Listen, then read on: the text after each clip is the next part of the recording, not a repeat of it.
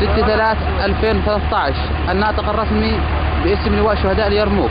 أبو, أبو كايد الفالح بسم الله الرحمن الرحيم.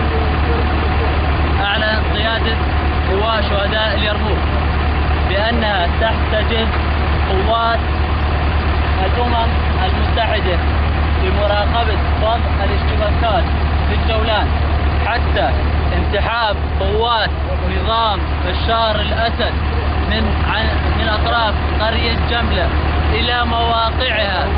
تطالب أمريكا والأمم المتحدة ومجلس الأمن بفك هؤلاء المحتجزين لدى لواء شهداء اليرموك نطالبهم بانسحاب قوات نظام بشار الأسد لكي يتم الإفراج عنهم.